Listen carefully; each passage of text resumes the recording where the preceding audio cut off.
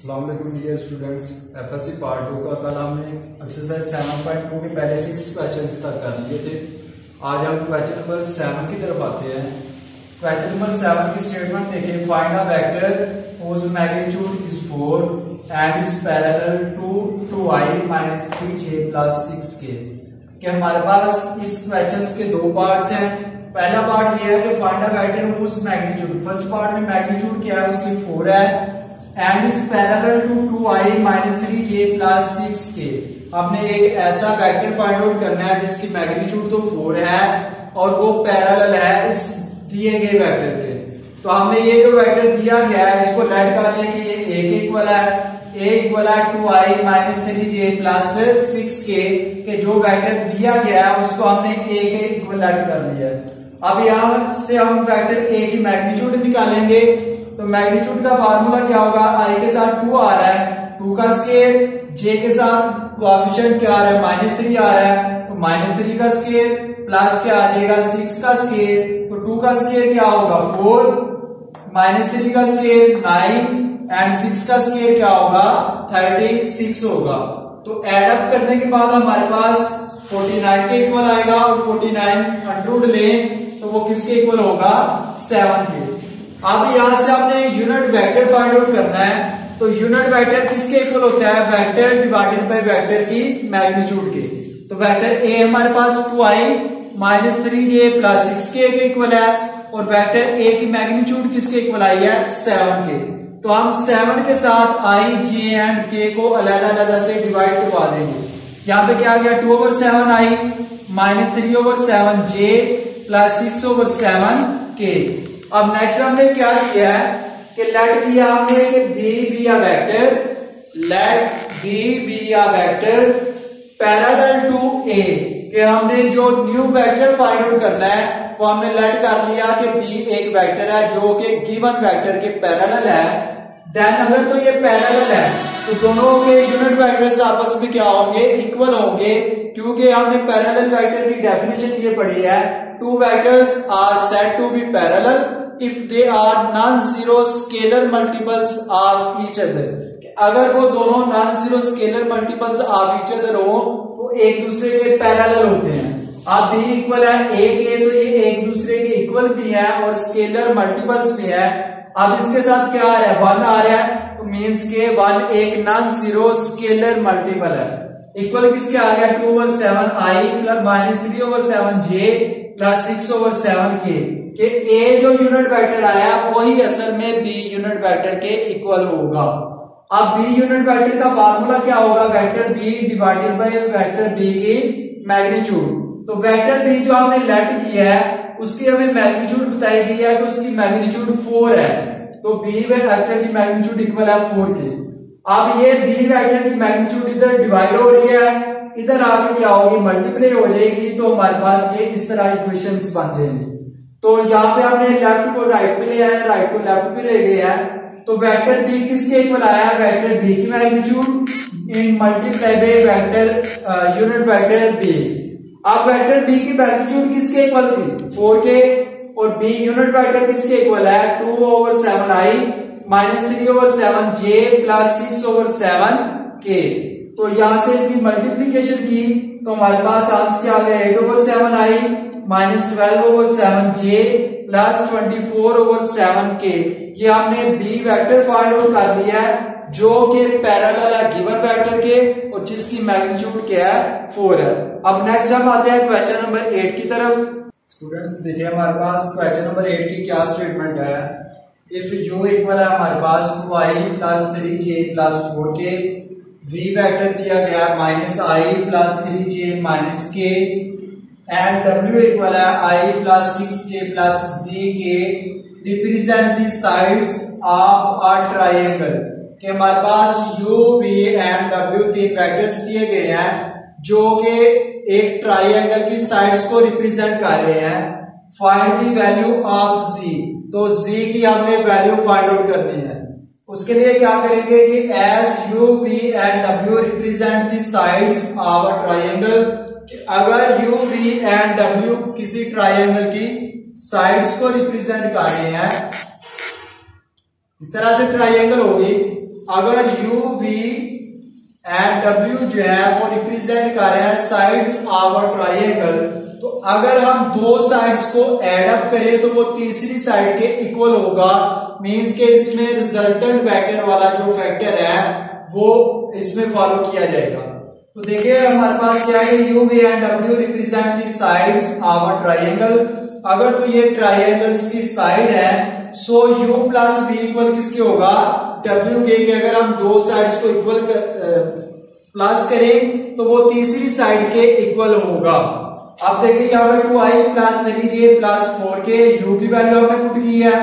We किसके equal है? Minus i plus three j minus k equal आ जाएगा W की वैल्यू हमने जो गिवन है वो वैल्यू पुट की है यहाँ पे।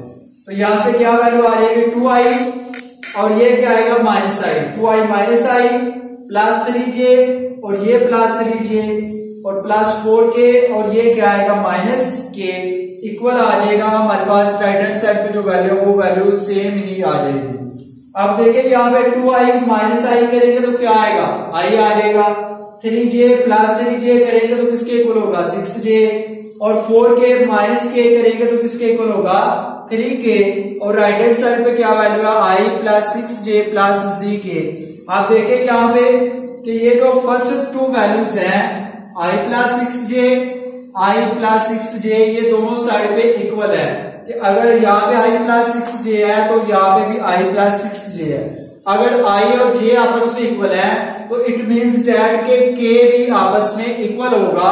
तो हमने क्या किया है? तो कंपैरिजन किया है कॉफिशिएंट ऑफ़ के के के जो कॉफिशिएंट है, उनका हमने कंपैरिजन किया है। तो यहाँ से देखे थ्री किसके इक्वल आएगा? जी के क्यू के के का कॉफिशिएंट क्या आ रहा है? थ्री आ रहा है। इधर से के का कॉफिशिएंट क्या आ रहा है? जी आ रहा है। तो जी किसके इक्वल आ गया? थ्री के यही हमने जी की वैल्यू फाइंड आउट करनी थी। अब नेक्स्ट हमारे पास क्या है? क्वेश्चन नंबर नाइन है।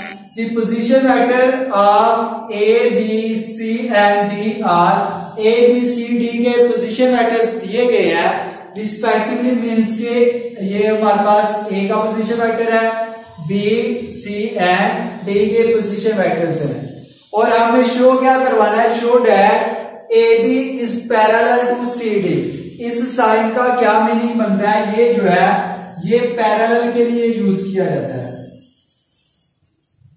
क्या ए बी पैरेलल है? सी डी के ये हमें प्रूफ करवाना है। तो पोजीशन वेक्टर ऑफ़ ए किसके इक्वल है? Two i minus j plus k position vector of b किसके इक्वल है? थ्री आई प्लस जे यहाँ पे हमारे पास जो बी का पोजीशन वेक्टर है, उसमें के वाली वैल्यू नहीं आ रही। तो मींस के के यहाँ पे क्या होगा? ज़ीरो उसका कॉफिशिएंट ज़ीरो होगा। पोजीशन वेक्टर ऑफ़ सी किसके इक्वल है? Two i plus four j minus two k और पोजीशन वेक्टर ऑफ़ बी किसके इक्वल है? Minus i minus two j plus k अब आपने प्रूफ ये करवाना है कि ए बी जो है वो सी डी के पैरेलल है। तो पहले हम यहाँ से ए बी की वैल्यू निकालेंगे। ए बी किसके इक्वल होगा? Position vector of b minus position vector of a तो यहाँ पे बी के पोजीशन वेक्टर्स क्या है? Three i plus j plus zero k b के पोजीशन वेक्टर्स लिखे, फिर माइनस फिर पोजीशन वेक्टर ऑफ़ ए तो पोजीशन वेक्टर ऑफ़ ए की वैल्यू हमने रिप्लेस कर दी है। अब यहाँ से वैल्यू क्या आ जाएगी? थ्री आई, और ये माइनस इससे मल्टीप्लाई होकर क्या आएगा? Minus two i. Plus j और ये माइनस और माइनस क्या होंगे? प्लस जे आ जाएगा। प्लस ज़ीरो के, ये माइनस और प्लस क्या होंगे? माइनस के आ जाएगा। अब यहाँ से हमारे पास क्या वैल्यू बन जाती है? Three i minus two i करें तो किसके इक्वल है? आई के। प्लस जे प्लस जे करें तो किसके इक्वल आएगा? टू जे और ज़ीरो के माइनस के करेंगे तो किसके इक्वल आएगा? माइनस के अब हमने फाइंड आउट करना है सी डी तो हम सी डी की तरफ़ आते हैं. नेक्स्ट देखिए हमने सी डी फाइंड आउट करना है. तो सी डी किसके इक्वल होगा? Position vector of d minus position vector of c तो हमारे पास पोजीशन वेक्टर ऑफ़ डी की क्या वैल्यू थी? Minus i minus two j plus k position vector of d किसके इक्वल है? Minus i minus two j plus k तो हमने पोजीशन वेक्टर ऑफ़ डी की जगह पे उसकी वैल्यू रिप्लेस की है।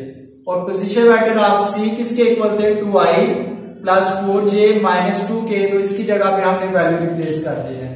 अब यहाँ से क्या वैल्यू आएगी? माइनस आई और ये माइनस अंदर मल्टीप्लाई होगा तो क्या आएगा? Minus two i minus two j और ये माइनस जब इस फोर जे से मल्टीप्लाई होगा तो माइनस क्या आ जाएगा? फोर जे प्लस के और ये माइनस जब इस माइनस टू के से मल्टीप्लाई होगा प्लस क्या आ जाएगा? टू के आएगा। अब ये minus i minus two i किसके इक्वल होगा? Minus three i minus two j minus four j किसके इक्वल है?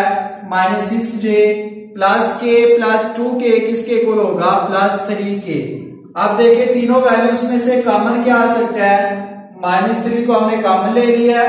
यहाँ पे क्या बच गया? आई यहाँ पे क्या बच गया प्लस टू जे और यहाँ पे क्या बच गया माइनस के।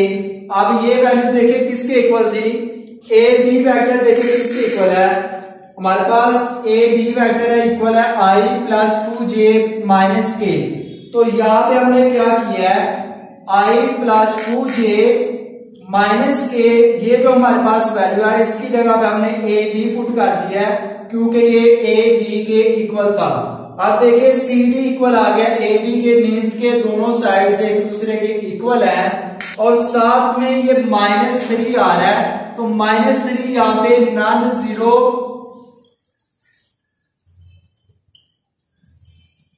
स्केलर मल्टीपल है।